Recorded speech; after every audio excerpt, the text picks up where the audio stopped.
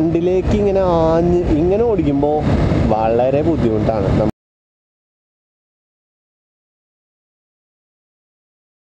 Hello guys welcome to my channel ഒരുപാട് നാൾക്ക് ശേഷം നമ്മളിപ്പോൾ കുറേ കാലമായി ഇപ്പോൾ ഒരു യൂട്യൂബൊക്കെ ഒരു വീഡിയോ ഒക്കെ ഇട്ടിട്ട്. അപ്പോൾ ഇന്ന് കുറേ ദിവസത്തിന് ശേഷം അല്ലെങ്കിൽ കുറേ കാലത്തിന് ശേഷം തന്നെ പറയാം. നമ്മൾ വീണ്ടും തിരിച്ചു വന്നിരിക്കുകയാണ്. അപ്പോൾ ഇന്ന് എന്റെ കൂടെ ആർ ആർ ത്രീ ഇട്ടനാണ് നമ്മുടെ കൂടെ ഉള്ളത്. അപ്പോൾ ത്രീ റിവ്യൂ ഒന്നുമല്ല. എന്റെ ഫ്രണ്ട് മോട്ടോർ സൈക്കിളാണിത് അപ്പോൾ ഞാൻ ഇന്ന് കുറച്ച് ഇതിൽ ഓടിച്ചുകൊണ്ട് നിങ്ങളോട് സംസാരിക്കാമെന്ന് വിചാരിച്ചു. അപ്പോൾ നമുക്ക് പോവാം അല്ലേ? Okay nice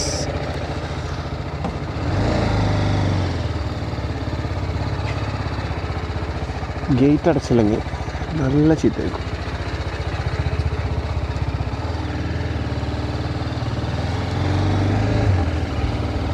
Okay so friends will must okay അപ്പോൾ നല്ലൊരു ദിവസമാണ്. സമയം ഏകദേശം പന്ത്രണ്ട് അമ്പത്തി മൂന്ന് ഏകദേശം ഒരു മണിയായിട്ടുണ്ട്. കുഴപ്പമില്ലാത്ത രീതിയിൽ ടെമ്പറേച്ചർ കുറവാണ്. വലിയ ചൂടൊന്നുമില്ല. അതുകൊണ്ട് തന്നെ ഞാൻ ഇന്ന് ഗ്ലൗസും ജാക്കറ്റ്സ് ഒന്നും എടുത്തിട്ടില്ല. ചുമ്മാ ഒരു ചിന്നറായിട്ട് റൈഡ്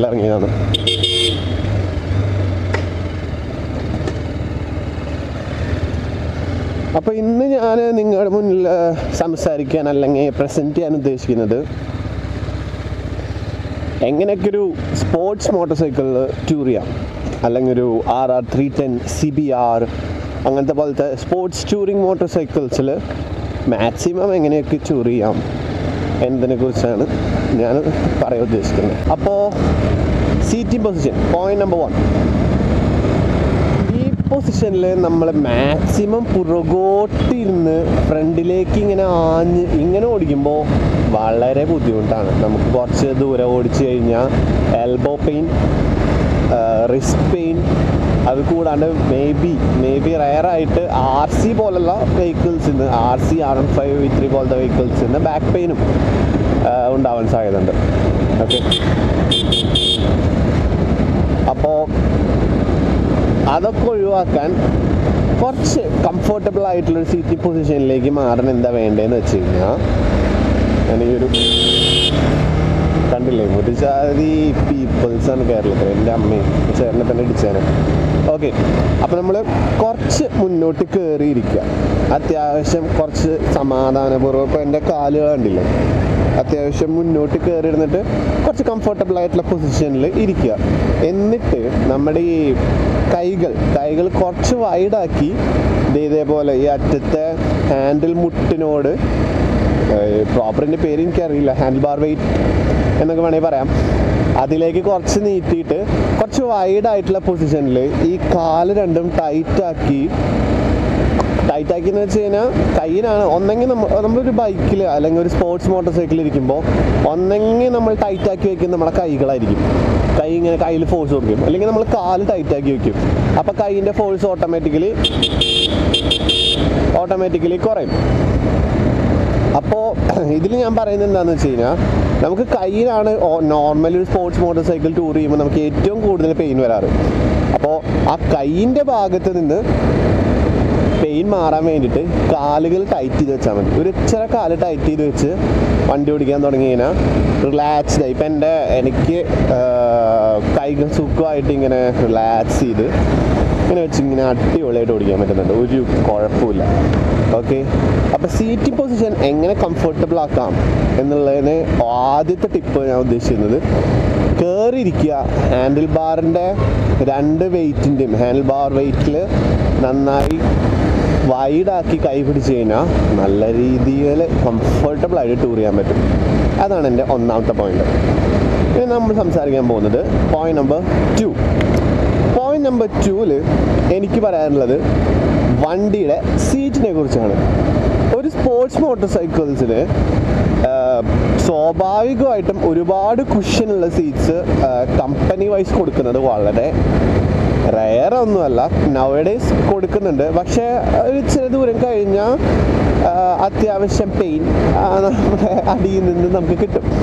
അപ്പം ആ പെയിൻ മാറാൻ വേണ്ടിയിട്ട് ഒരുപാട് കാശൊന്നും ചിലവാക്കി ജെൽ ജെൽ ബാഗ്സോ എയർ ബാഗ്സോ വേണമെങ്കിൽ വാങ്ങാം. പക്ഷെ നമ്മളെ പോലത്തെ സാധാരണക്കാർക്ക് ഏറ്റവും എളുപ്പമുള്ള പരിപാടി എന്താണെന്ന് വെച്ചാൽ അടുത്തുള്ള ഈ സോഫ റീമോഡലിംഗ് സോഫ റീ രണ്ടാമത് സെറ്റ് ചെയ്ത് തരുന്ന സ്പോഞ്ചൊക്കെ അടിച്ച് തരുന്ന ചേട്ടന്മാരുണ്ടാവില്ലേ? അതുപോലത്തെ കടകളിലൊക്കെ ചെല്ലാം അതുപോലത്തെ കടകളിൽ ചെന്നിട്ട് ഈ സീറ്റ് നമുക്ക് ഊരി എടുക്കാൻ പറ്റുമല്ലോ. ആ സീറ്റ് ഊരി എടുത്തിട്ട് അവരുടെ കയ്യിൽ കൊടുക്കാം.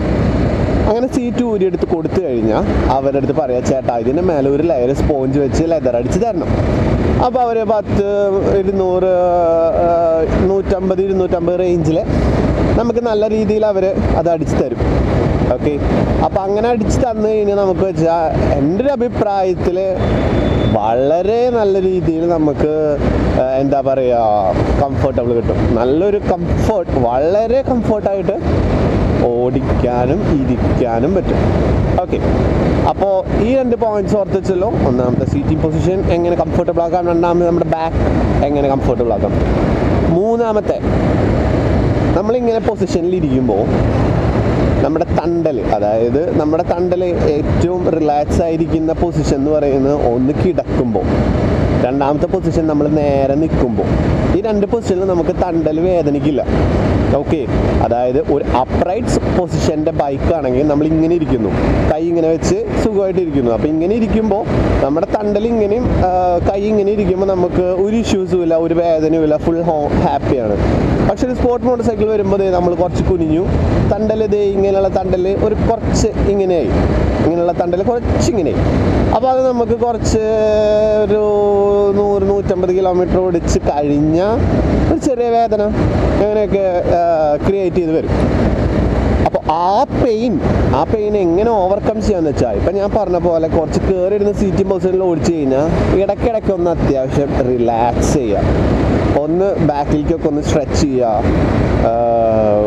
അത്യാവശ്യം ഇടയ്ക്ക് അതായത് പോകുമ്പോൾ പോകുമ്പോൾ പോകുമ്പോൾ സ്ട്രെച്ച് ചെയ്യാനല്ല പറഞ്ഞ് ഇടയ്ക്കൊക്കെ ഒന്ന് സ്ട്രെച്ച് ചെയ്യാം. മൂന്നാമത്തെ കാര്യം. സോറി നാലാമത്തെ കാര്യം. സോറി അപ്പോൾ ഇന്ന് അപ്പോൾ ഈ മൂന്ന് ടിപ്സ് ഓക്കെ അല്ലേ? അപ്പോൾ ഇനി നാലാമത്തെ കാര്യം എന്താണെന്ന് വെച്ച് കഴിഞ്ഞാൽ പ്രോപ്പറായിട്ട് റെസ്റ്റ് എടുക്കുക. മനസ്സിലായോ? പോകുന്ന റൈഡുകളിൽ ഒരു തൗസൻഡ് കിലോമീറ്റേഴ്സ് റൈഡാണ് നമ്മളിപ്പോൾ എന്റെ ഒരു നാട്ടിൽ നിന്ന് അതായത് തൃശ്ശൂരിൽ നിന്ന് നിങ്ങൾ ഗോവ വരെ പോയി വരികയാണ്. ഒരു twelve hundred thirteen hundred kilometres to and fro ഉണ്ട്. അപ്പോൾ ഈ ഡിസ്റ്റൻസ് നിങ്ങൾക്ക് സിമ്പിളായി വലിയ കുഴപ്പമില്ലാതെ വലിയ ടയർഡ്നെസ് ഇല്ലാതെ കുറച്ച് ദൂരെങ്കിലും കവർ ചെയ്ത് കവർ ചെയ്ത് പോകണം എന്നാണ് നിങ്ങളുടെ ആഗ്രഹം. അപ്പോൾ ആ ഡിസ്റ്റൻസ് കവർ ചെയ്യാൻ വേണ്ടിയിട്ട് എന്ത് ചെയ്യണമെന്ന് വെച്ചാൽ വെച്ച് പ്രോപ്പറായിട്ട് റെസ്റ്റ് എടുത്ത് ഒരു വൺ ഓർ ടു അവേഴ്സ് കുറച്ച് മുന്നോട്ടോ പിന്നോട്ടോ വന്നാൽ കുഴപ്പമില്ല. പക്ഷെ ഫുഡ് കഴിക്കുക ഫുഡ് കഴി maximum maximum maximum maximum food കഴിക്കുക അത്യാവശ്യം റെസ്റ്റ് എടുക്കുക എപ്പോഴും ഒരു ഒന്നോ ലോങ് ഒക്കെ ആണെങ്കിൽ ഒന്നോ രണ്ടോ ബോട്ടിൽ കയ്യിൽ വെക്കുക വെള്ളം. അത് ഒരുപാട് ഉപകരിക്കും. അതെന്താ പറയുക അത്യാവശ്യം ലോങ് പോയവർക്ക് എല്ലാവർക്കും മനസ്സിലായിട്ടുണ്ടാവും. ഒന്നോ രണ്ടോ ബോട്ടിൽ കയ്യിൽ വെച്ചാൽ അല്ലെങ്കിൽ ഒരു ഹൈഡ്രേഷൻ പാക്ക് കയ്യിൽ വെച്ച് കഴിഞ്ഞാൽ നിങ്ങൾക്ക് അതിന്റെ ആ ഒരു ആ ഒരു ഗുണം ആ ഒരു എന്താ പറയുക ബോഡിക്ക് കിട്ടുന്ന ആ ഒരു ഫ്രഷ്നെസ് അതൊക്കെ വല്ലാണ്ട് കൂടിക്കൂടി കൂടി കൂടി വരും. ഓക്കെ പിന്നെന്താ? അതൊക്കെയാണ് എനിക്കൊരു അഭിപ്രായത്തിലുള്ള ടൂറിങ് റിവ്യൂസ് അല്ലെങ്കിൽ ഒരു സ്പോർട്സ് മോട്ടോർ സൈക്കിൾ എങ്ങനെ ടൂറിങ് കംഫർട്ടബിൾ ആക്കാം എന്നുള്ളതിന് പിന്നെ അടുത്തൊരു പ്രോബ്ലം വരുന്നത് ഇങ്ങനത്തെ ഒരു പൊസിഷനിൽ കയറിയിരിക്കുമ്പോൾ ഈ വണ്ടി ഇങ്ങനത്തെ ഒരു പൊസിഷൻ ഉണ്ടാക്കിയതല്ല ഈ പൊസിഷന് വേണ്ടിയിട്ടല്ല ഈ വണ്ടി പ്രോപ്പർ ഉണ്ടാക്കുന്നത് അപ്പോൾ ഈ ഒരു വിൻ വൈസർ നമുക്ക് വേണ്ട വിൻ ബ്ലാസ്റ്റ് തരില്ല. സോറി വേണ്ട വിൻ പ്രൊട്ടക്ഷൻ തരില്ല. നല്ല വിൻ ബ്ലാസ്റ്റ് ആണ് തരിക.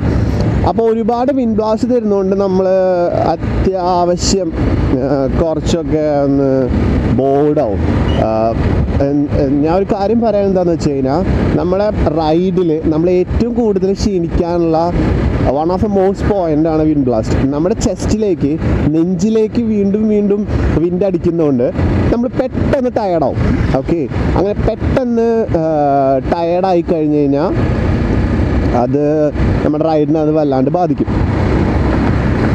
സോ അങ്ങനെ പെട്ടെന്ന് ടയേർഡ് ആവാതിരിക്കാൻ വേണ്ടിയിട്ട് നമ്മൾ മാക്സിമം വിൻഡ് ബ്ലാസ്റ്റ് കുറയ്ക്കണം. അപ്പം നമ്മൾ എന്താ ചെയ്യേണ്ടത്? ഒരു ഇച്ചിരിയും കൂടെ ടോളായിട്ടുള്ള വൈസർ ആഫ്റ്റർ മാർക്കറ്റ് മേടിച്ച് വെക്കുക.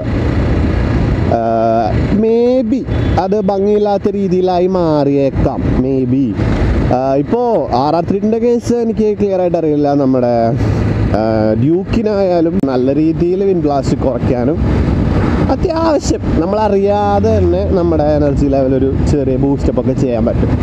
ഓക്കെ അപ്പോൾ അടുത്ത എന്റെ പോയിന്റ് എന്താണെന്ന് വെച്ച് കഴിഞ്ഞാൽ നമ്മുടെ ലഗേജിനെ കുറിച്ചാണ്. നിങ്ങൾ ലഗേജ് എങ്ങനെയാണ് കൊണ്ടുപോകുന്നത് ഏറ്റവും നയന്റി പെർസെന്റേജ് ഓഫ് പീപ്പിൾസ് ഒന്നെങ്കിൽ നിങ്ങളൊരു ബാഗ് എടുക്കും. അതൊരു ടൂറിങ് മോട്ടോർ സൈക്കിൾ ഒരു സ്പോർട്സ് മോട്ടോർ സൈക്കിൾ ഈ വണ്ടിയിലേക്കാണ് ഞാൻ ഉദ്ദേശിക്കുന്നത് ഒരു ബാഗ് എടുക്കും. എന്നിട്ട് ഇത് ഞാനിട്ടിരിക്കുന്ന പോലെ അത് നിങ്ങൾക്ക് കാണുന്നില്ലെന്ന് എനിക്കറിയാം.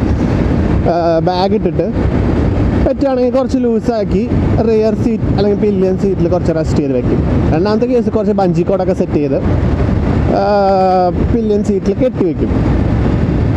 ഓക്കെ അപ്പോൾ ഞാൻ പറയാൻ പോകുന്നത് ഇത് രണ്ടിനെ കുറിച്ചല്ല ഞാൻ പറയാൻ പോകുന്നത് ഇതേ ഇവിടെ ഇവിടെ നിങ്ങളൊരു ടാങ്ക് ബാഗ് വാങ്ങുക. അത് സി ബി ആർ പോലത്തെ വെഹിക്കിൾസ് ആണെങ്കിൽ മാഗ്നറ്റിക് ടാങ്ക് ബാഗ് അപ്ലിക്കബിൾ ആണ്. ഇപ്പോൾ ഇതിനൊരു ഫൈബർ ടാങ്കാണ് വരുന്നത്. അപ്പോൾ ഈ വണ്ടിക്ക് ഒരു ഫൈബർ ടാങ്ക് ആയതുകൊണ്ട് മാഗ്നറ്റിക് ടാങ്ക് ബാഗ് ചിലപ്പോൾ അപ്ലിക്കബിൾ ആയെന്ന് വരില്ല.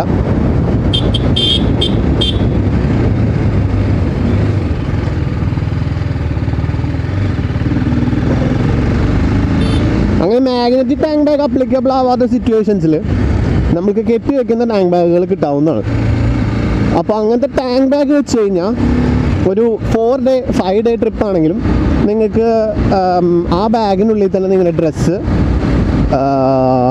നിങ്ങൾക്ക് അത്യാവശ്യമായ സാധനങ്ങൾ പ്രോട്ടീൻ ബാസ് ബിസ്ക്കറ്റ്സോ വടവർ അത്യാവശ്യം ഗോപ്രോ ചാർജ് ചെയ്യാനുള്ള സാധനങ്ങളും ഒരു റെയിൻ കവറും കൂടെ വാങ്ങിക്കഴിഞ്ഞ് കഴിഞ്ഞാൽ വിയാറ്റാര ബി ബി ജി ഇവരൊക്കെ ഇതിനു വേണ്ടി ഇതിറക്കുന്നുണ്ട് ഇൻക്ലൂഡിങ് റെയിൻ കവർ ഇതൊക്കെ മേടിച്ച് കഴിഞ്ഞാൽ നിങ്ങൾക്ക് സുഖമായിട്ട് നിങ്ങളുടെ എന്താ പറയുക ഇത് പ്രൊട്ടക്റ്റ് ചെയ്യാം. എന്ത്? നിങ്ങളുടെ റൈഡ് കുറച്ചും കൂടെ കംഫർട്ടബിൾ ആക്കാം. പിന്നെ ടാങ്ക് ബാഗ് വരുന്നതിന് നിങ്ങൾക്ക് ഒരു ഗുണം എന്താണെന്ന് വെച്ച് കഴിഞ്ഞാൽ ഒരു ടാങ്ക് ബാഗ് വന്നാൽ നമ്മുടെ ചെസ്റ്റ് ഇപ്പോൾ ഒരു സ്പോർട്സ് മോട്ടോർ സൈക്കിൾസിനെ കുറിച്ച് മാത്രമാണ് ഞാൻ സംസാരിക്കുന്നത് നമ്മുടെ ചെസ്റ്റ് ഒരു ഒരു ഫിഫ്റ്റി പെർസെന്റേജ് അല്ലെങ്കിൽ ഫോർട്ടി പെർസെന്റേജ് ചെസ്റ്റ് അല്ലെങ്കിൽ നമ്മുടെ